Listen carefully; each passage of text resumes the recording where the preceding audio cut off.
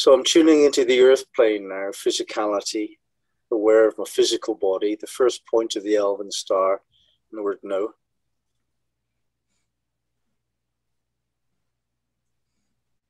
It's the old man vainly trying to reveal the mysteries.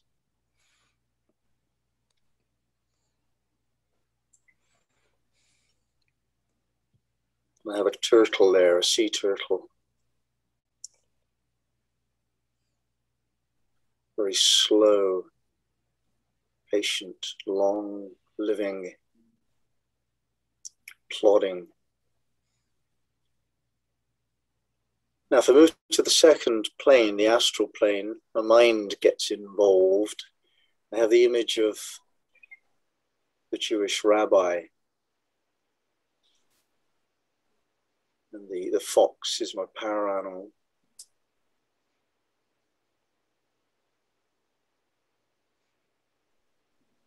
Here I feel a, a sense of alertness and sharpness of mind. ability to find solutions creatively to everything and anything that comes to me. It's fun and quick.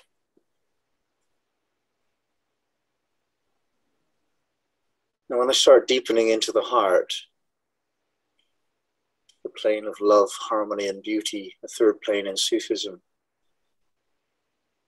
again, things slow down my power animal is the owl who can see at night time, to see through illusion. And um, in Sufism, we speak of sentimental sentimentality being the enemy of love. And the, the owl sees through that which is sentimental to a deeper sense of what love really is. And in a sense, hunts for love.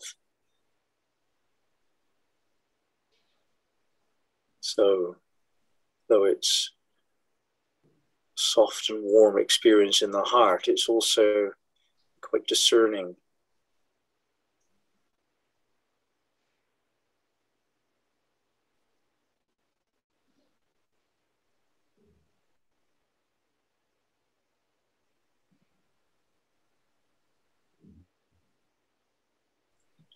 This is the position of the purging of the priesthood. This is the sense in which that which is false gold is cleansed. We want the, the real deal. Spiritual love has to be authentic to mean anything. And move into the, the fourth point of the Elven star and the fourth plane of consciousness. This is the heroic plane the plane of confrontation and truth and authenticity, where my stag stands as a leader and yet has tremendous sensitivity and willingness to, to run if outgunned. And the mermaid is the image I have, and, and she speaks of a sense of creativity in, in a rather unique way. The access to the unconscious realms is easy, and the challenge is to bring it in to something that can be made real and understood. And it requires something of an assertive challenge to do that, to make my position known. And here's a position of strength and principle, honor, wisdom. And moving to the fifth plane,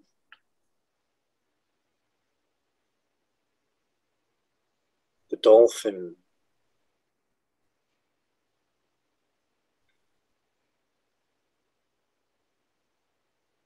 It's associated with the third degree of Aquarius, the deserter, one who, who cannot stay where it is inappropriate and no longer in keeping with principle, um, the absolute imperative of freedom. and playfulness, even though it's the energy of sacredness.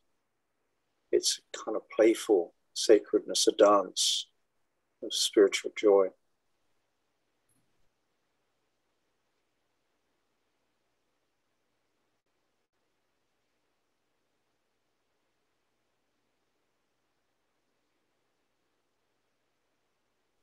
Now, the sixth point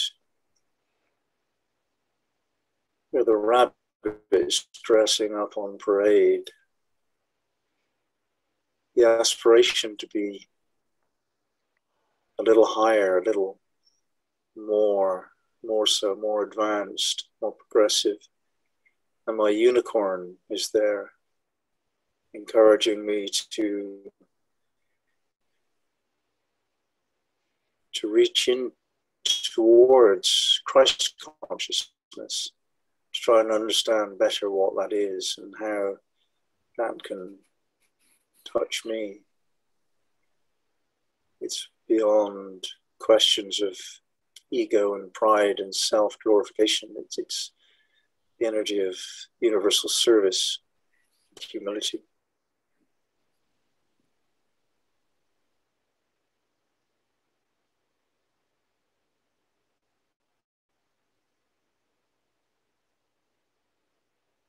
The seventh point is the centaur. And it fills me with awe.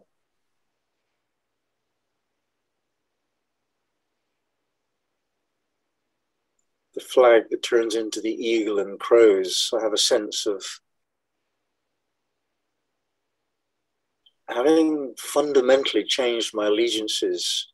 And because this is the seventh position, it, it seems my allegiance to even the earth and humanity is going through transformation to become more eagle like, overseeing everything from a very, very much higher cosmic perspective. And with the, the power and confidence of a centaur, I need to speak of this